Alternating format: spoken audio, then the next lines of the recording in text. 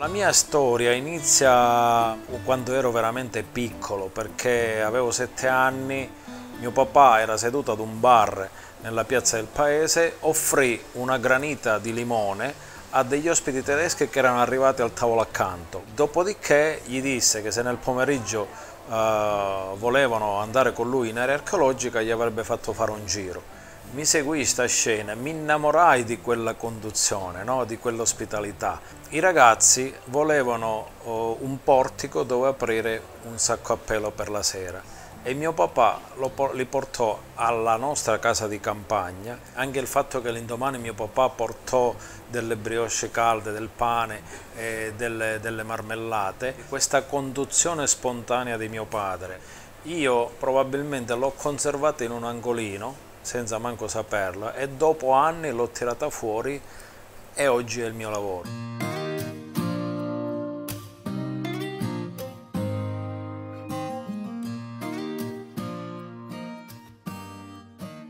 La mia attività eh, Val di Gama inizia a Sant'Angelo Moxaro, che è un piccolo borgo di 1200 abitanti nell'endoterra agrigentino. Oggi eh, interagisco con molti dei miei borghi interni, quindi l'area dei Sicani. Sfoggio anche nel Nesseno perché grazie ad alcuni amici eh, stiamo mettendo a regime un po' di interessanti esperienze. Mi occupo di turismo esperienziale, io ho iniziato con il turismo degli incontri. Noi praticamente riusciamo a portare gente nell'endoterra sconosciuta Agrigentino e quando arrivano i primi ospiti chiediamo se fosse possibile avere indietro le foto della giornata. Io mi aspettavo le foto dell'area archeologica, della riserva naturale, delle bellezze eh, architettoniche e invece mi arrivano tutta una serie di foto che sono panni stesi al sole in giro per i vicoli, il pane gonzato al forno, i vecchietti che giocano a carte, scene di ordinaria sicilianità.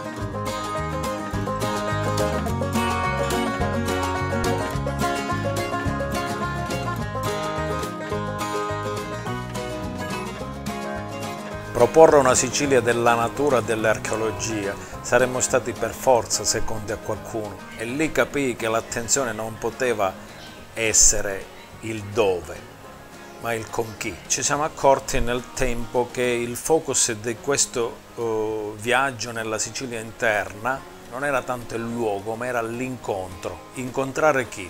La gente del posto, che non per forza doveva essere un personaggio, poteva essere anche la normalissima persona di strada che stesse giocando a carte o che stava facendo la spesa o che girando l'angolo eh, poteva scambiare perché è un ex emigrato due parole con il nostro ospite tedesco. Per la prima volta chi viveva nei borghi si è sentito protagonista di scene normalissime. La gente si emoziona perché si vede offerto un pezzo di pane o addirittura di più se l'ho preparato assieme. Quindi incontri sicani che hanno diverse declinazioni perché c'è l'incontro con i pastori, incontro con la fornaia, incontro con la gente del cortile, provando a fare da mediatore di questo incontro, cosa che faccio tuttora e che oggi stiamo sempre più perfezionando e cercando di trasferire il know-how ai giovani perché questa è la svolta per le aree interne.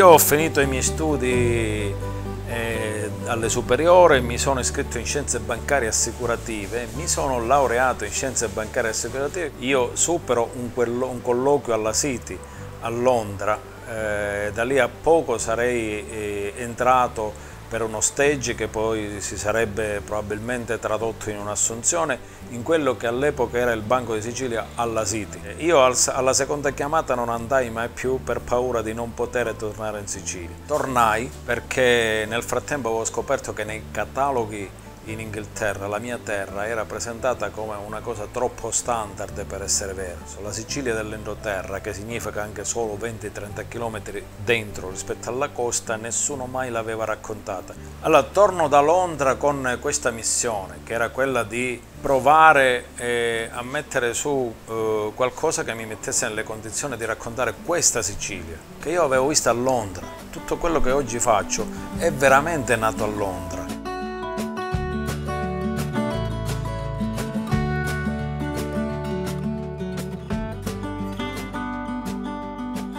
Oggi questo è diventato il mio lavoro che faccio con grande passione e spesso ripeto ai miei amici che faccio un lavoro che per me non è un lavoro e per quello non mi stanco, eh, non mi stanco veramente mai. E nel territorio che cosa è successo nel frattempo? Io penso che il nostro messaggio ha creato sicuramente delle ricadute dirette per chi lavora giornalmente con noi. Nel frattempo il territorio ha creduto in questa formula, sono nati agriturismi. Quello che succederà, almeno per quanto mi riguarda nel prossimo futuro, è provare sempre più a condurre i miei ospiti in esperienze non costruite, ma che sono improvvisate, ma che ovviamente alle spalle hanno una conoscenza dei personaggi e del territorio che ti dà la certificazione e quindi la possibilità di portare avanti queste improvvisazioni.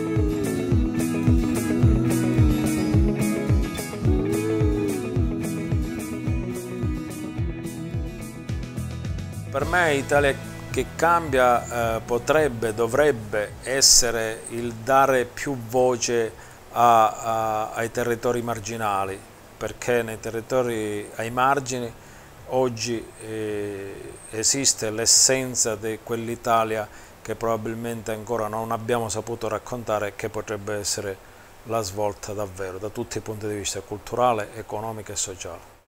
Quest'Italia che cambia non puoi fermarla ormai, quest'Italia